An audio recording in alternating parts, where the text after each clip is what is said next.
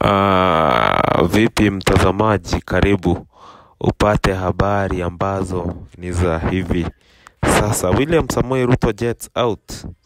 William Ruto ameweza kuchukua ndege ya private jet aina ya KDF na kuweza kusafiri kuelekea nchi ambayo inafuata. Mtazamaji, je, ni nini hiki kiliweza kutokea?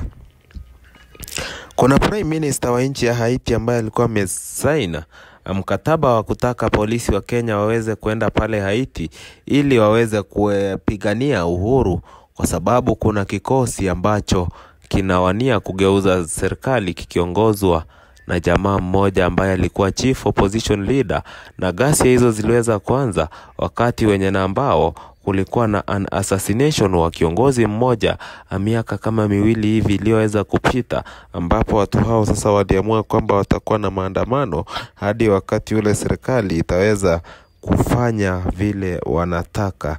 Serikali hiyo tumeweza kuona baada ya watu hao kuweza kupatiana ama kuwapa pressure.